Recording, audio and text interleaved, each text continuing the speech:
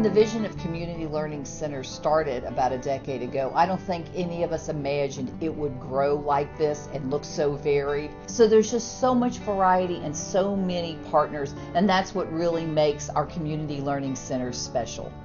What we decided several years ago, the board did, is that children flourish the best when when school and neighborhood act in partnership, and when school and the greater community act in partnership. And so we developed community learning centers so that our children could get everything that they needed at the school site, and our families could also get things that they needed at the school site. Schools could, should be the center of a community, and part of community learning centers is helping to make that happen. So one thing we're doing specifically here at Roberts is we're building on a hillside behind me a food forest, which is taking uh, the idea of small lettuces herb garden and blowing that up to larger forest architecture. So fruit trees, fruit shrubs, little fruit, um, vegetable, all that kind of stuff. And what you need to make something that's productive as a food system survive is you need other beneficial plants. You need a large and diverse community of plants there. I think a lot of the things that are happening here um, show community members, school members, it's all one and the same. That community members go to the school. Um, the school is always reaching out to the community in various efforts. So I think a lot of those lines are blurring, and there's a lot more uh, diversity and inter- this connection between those two things, and, and strength because of that. To me, the community learning center in itself kind of gets you back to the village that raises the child. You have so many different components in the school and such access to different things.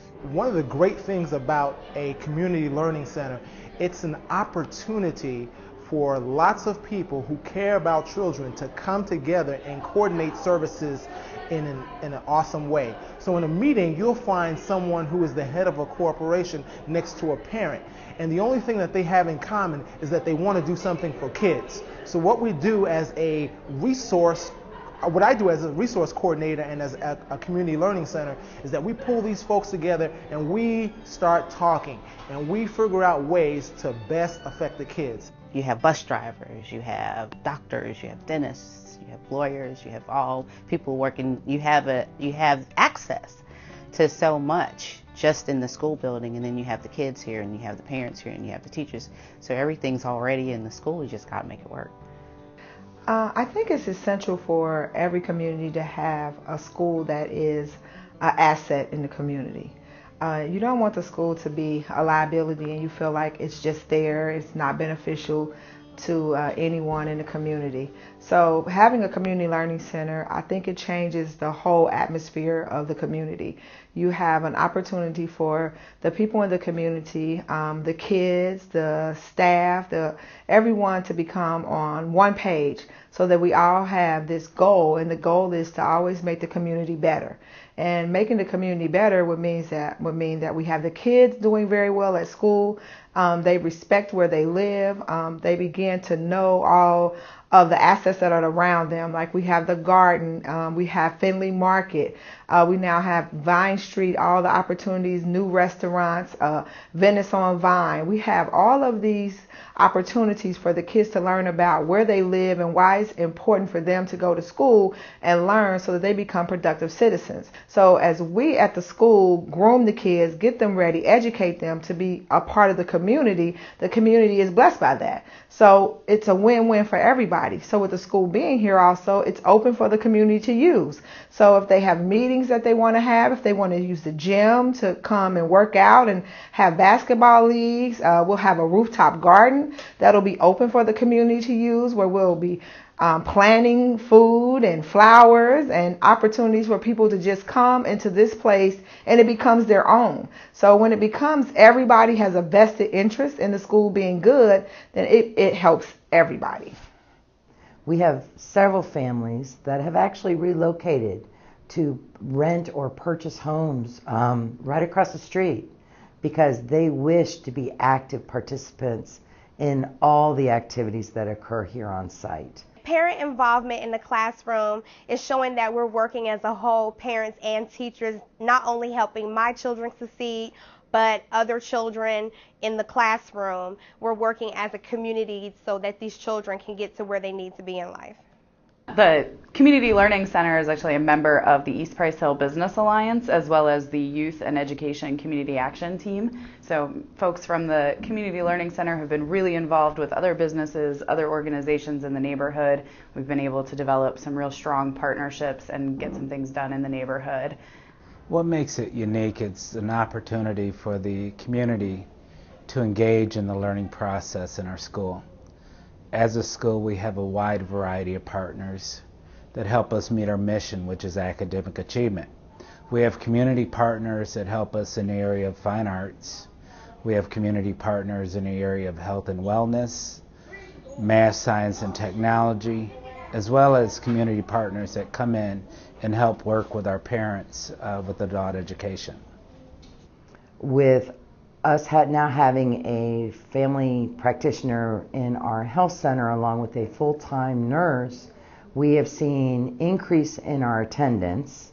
We have seen a drop in student illnesses along with since they have an outreach program, a drop in some medical issues that may be occurring in their homes or in their living spaces that we've been able to assist, which then improves the health of the entire city. I have seen solid results in what my children are learning. They're scoring high on their OAA test. Um, their grades, as far as homework, are phenomenal. They're getting A's. He's doing more reading, doing much more reading. Um, math, a lot more math, and a lot more science. The math came up a lot. His reading is a whole lot much better because he was struggling in reading. And he got some get a couple of reading awards that they pass out to the kids that do so much reading in the books, and he made it. He got two gold medals.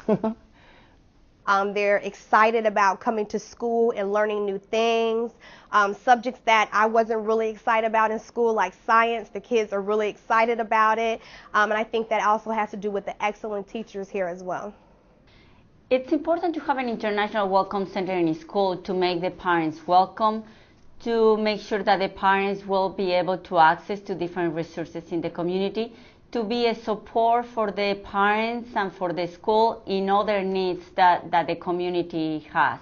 What we're seeing is that there's a lot of children from different neighborhoods that are coming to the Summer Stars program that now they're all interacting and then they're interacting with our children that we have on a drop-in basis. So I think a lot of these children really didn't get a chance to meet all the kids that were actually in this neighborhood. Plus they're meeting new individuals and learning how to interact and making new friends the after school program is near and dear to my heart because my kids have gotten so much social activity through the after school program that they have met so many friends in this school from kindergarten to sixth grade. Even when they're kindergartners, they know some sixth graders, and then they know they see familiar faces, they feel like they're part of something, and they feel at home in this building. And we did go to an after school program out of this building, and it was okay. But when they were in this building, they feel like they're a part of the school. We feel a part of the school, and the parents of the after school kids actually kind of like band together and chat with each other and meet each other, and we all um, we just really have fought for this program because we really believe in the kids being here and being safe and not being transported and they're happy and they give them all sorts of variety of activities and they're um, they're just really it's really given them a sense of pride in the school. We have partners that provide um, academic support like Gear Up who provides uh, services in the classrooms and after school. We also have partnerships with universities, with the local universities, where we do wonderful, wonderful things. I take math, science, reading at the Community Learning Center. In science class, I learned about independent variables and dependent variables, the scientific method, and Bloom's taxonomy.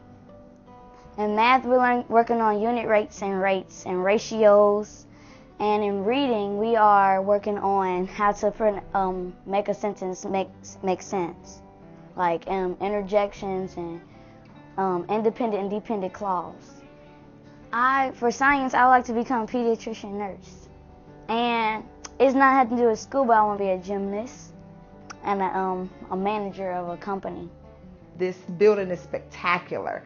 I mean, it's just gorgeous. I mean, it's it's everything anybody would want for their child to be a part of. The computer labs and just the hardwood floors and, and the floor, just everything that exuberates that you have pride in who you are and that it's important for the community and the people that come back, they feel that sense of pride.